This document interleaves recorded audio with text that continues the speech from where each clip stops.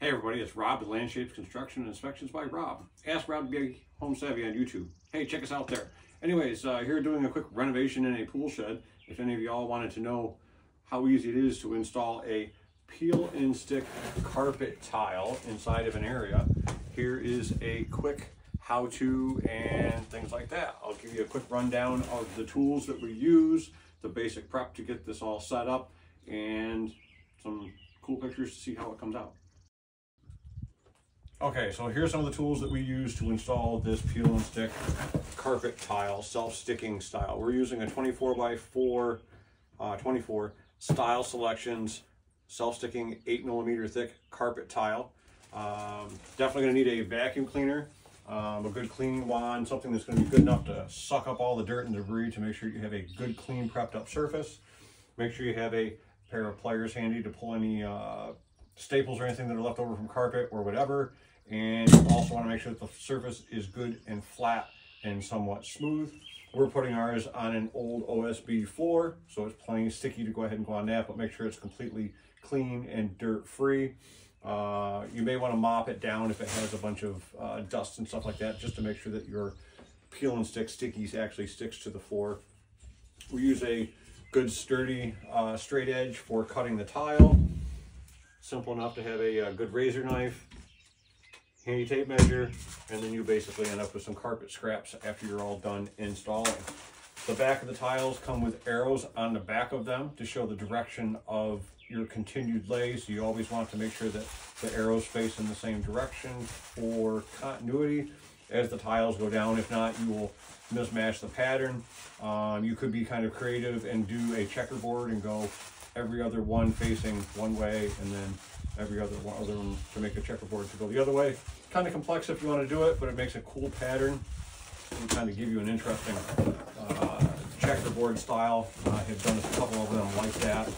And like I said, you kind of get alternating textures when you turn them in opposite directions. So that's why there's the arrows on the back to make sure you lay them in the correct direction so they'll line up. If you don't, you'll end up with this strange fuzzied out pattern that is in the opposite direction. So if you want some change in the pattern so it looks like a checkerboard and you still kind of get that cool thing, you have that option with that. Just make sure you constantly lay your arrows in the same direction every other pattern for your checkerboard. Anyways, uh, we're laying straight pattern for simplicity, just to kind of throw it down, get it done real quick.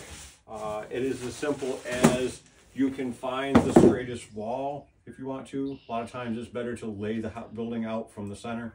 We call it a crisscross in the middle, find the exact center of the floor, measure in all directions, find the center, strike out some nice square lines, make sure you've got a good square cross pattern in the very middle to start with, and then you can lay your tiles right down that. I've checked the shed, the shed's good and square, so we're just going right straight down the edge of it because we don't care where the pattern lays and ends. We've centered the tiles from the front to the back so that they cover out the door openings and things like that. So some details that you may want to think out when you go ahead and lay that floor pattern out on the floor. So you may want to just kind of lay a few tiles onto the floor and see what lays out the best for you to go ahead and install that. But let's get to it and we'll peel and stick and put some of these down and show you how well it is and then we'll give you some after pictures to show you how the whole thing comes together. Keep watching. Okay, so here we are. We've got our tile orientated. We're going towards the door with our arrows.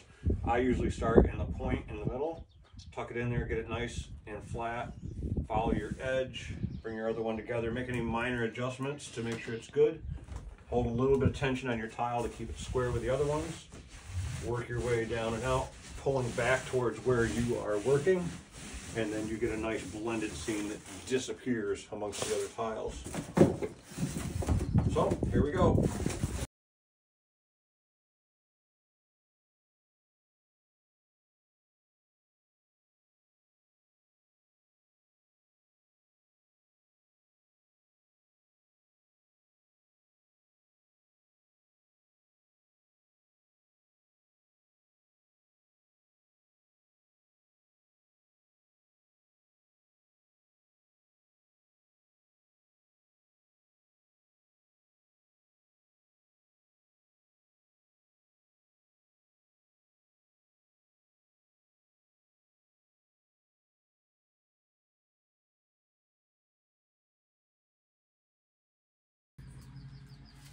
All right, guys, there we go.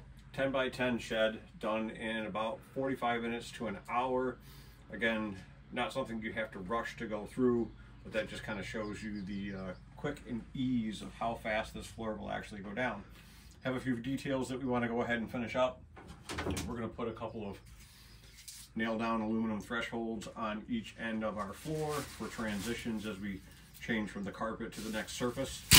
Uh, those can be picked up, those are pretty easy to nail down. Something close to match the carpet works well, or variants, whatever your choice may be. All we have left is a little bit of cleanup, put the last couple details down, and call it a day. All little to no waste. Make sure you buy yourself a couple of extra tiles. Most likely you're going to have to buy a whole box at a time because they're not marked for individual sale.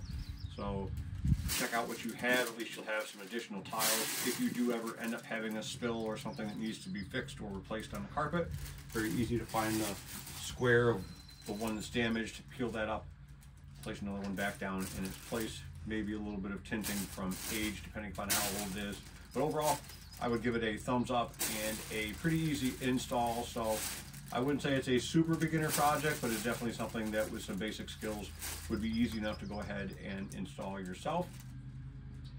If in doubt, you can always reach out and we will be glad to steer you in a direction, uh, provide a professional to go ahead and install or talk about something like that. Past that, enjoy. We're going to enjoy our fresh new carpet. Got a little bit of cleanup and pickup to finish up, but check in with us again. Hope to see you soon.